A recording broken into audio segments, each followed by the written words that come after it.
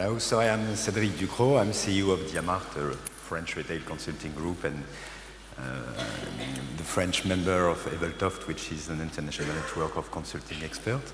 I have the honor today, with, together with Jose Carlos, to present what is probably within, I've been a consultant for 20 years, and what I'm going to talk about today is the most exciting project I ever worked on during those 20 years nothing less than reinventing the hypermarket with the inventor of the hypermarket. Quite a subject. As we all know, the hypermarket have been struggling in mature markets for 10 years, basically.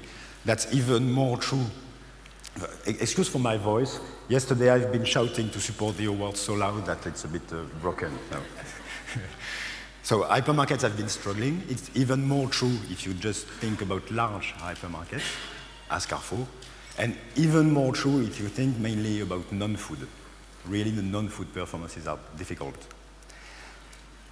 That means less clients, coming less often, and basically, uh, at the end, you've got a decrease of the turnover per square meter. Those figures are for Europe across the last 10 years, for all the hypermarkets, not specifically Carrefour, and you see that it's not really exciting. After all, the turnover has been decreasing from in a significant way across 10 years. So we had really to be much more aggressive and to try to uh, find solutions. We know the problem, they are well known. The problem of hypermarket, large hypermarket has been well known for years and years now. It's about clients, it's about competition, and it's above all about the role of hypermarkets. I'm going to have a word about each of them. Concerning the clients, this guy is one of the worst enemy of, of hypermarkets. 20 years ago, the products we used to sell in hypermarkets were exciting products. That was the place where the excitement was. Today, because of him and some other guys of this kind, the excitement has gone. People, I mean, we, our categories in hypermarket, most of them have lost the competition for the share of wealth and the share, share of uh, brain available time. What we sell is just not interesting that much customer. They, they are more interested in health, communication, real estate, and so on. This is, uh, of, of, course, uh, a problem because it means that you must create your turnover and not just follow the needs. It's about competition also. In food, we have already, uh, we have now many small formats selling very good fresh products, selling convenience at low prices, you know that by heart. It's even more a problem in non-food. All the markets almost all the markets in mature countries are served today by extremely performing specialist stores that do a fantastic job. And so the question is simple. Why would you, as a consumer, buy a TV or a jacket in an hypermarket rather than one in one of those specialist stores? This is a fundamental problem for a large hypermarket because they use the non-food to create, to create attractivity and to create traffic, and it's a large part of the turnover. The conclusion is clear. For an hypermarket, a large hypermarket, you cannot just remain a generalist. If you want to compete against those guys, you need to be just as performing, as competent as they are, which is a completely complete shift in the model. Maybe even deeper than that, more than clients and, and competition, which are classical uh, threats for uh, retailers, I would say that the social the historical social role of the hypermarket has changed.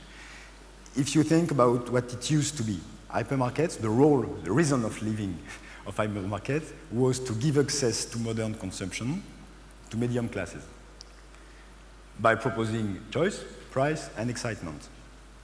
The problem is that today,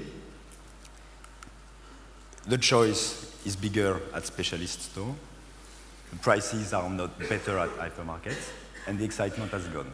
So hypermarket remain a very powerful format with many clients, but magic has gone, and it's a, well, they are under pressure. the fundamental change of that, the meaning of that, is that you, if you are a large hypermarket, you must create your turnover. You can't just serve the need. You can't just give access to consumption. You must create the desire to buy, to buy more, and to buy there. This means that you must shift from giving access to creating desire to buy. This is not about, this is not a change of the commercial model. This is a change of the role, of the spirit, of the DNA, of the culture the hypermarket. This is why we dare say that with Planet, we try to reinvent the hypermarket and not only to improve it. It's, a, it's really a, a, fundamental change. So the challenge was difficult. We, we in Ebeltoft, we keep tracking the innovation all over the world. And what I can tell you is that we see much more new formats than successful reinvention of existing formats. It's obviously much more difficult to reinvent the existing than to create brand new. Is it possible? Well, we've got some examples that prove that it's possible. Galeries Lafayette, department store in Paris, is a fantastic example of reinventing a declining format. You know that the Galeries Lafayette store in Boulevard Haussmann is the biggest store in terms of turnover worldwide, in all sectors, in countries, the biggest store in the world. And this biggest store in the world had performances last year of plus 20% of turnover. They created more than 200 million euros turnover in one year. Okay? So tell me about reinventing a declining format. Leroy Merlin in uh, DIY, for example, has completely reinvented the format. Or Mercadona in Spain used to be a pretty traditional supermarket chain 15 years ago and is today a UFO in terms of uh, performances, market share, and so on. So yes, it's possible.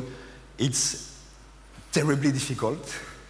Uh, and, uh, well, that's the challenge uh, Carrefour has tried to address. I believe this is not quite modest, what I'm going to say, but I believe that planet is really something important. If you think about the, the innovation of the last 10 years or last 20 years in retail, you've got some more disruptive innovation. I mean, the, the invention of Amazon or of the Drive are more disruptive in terms of level of intensity of the innovation. But what is unique with Planet is that you've got at the same time a high level of reinvention and a scale that is absolutely gigantic.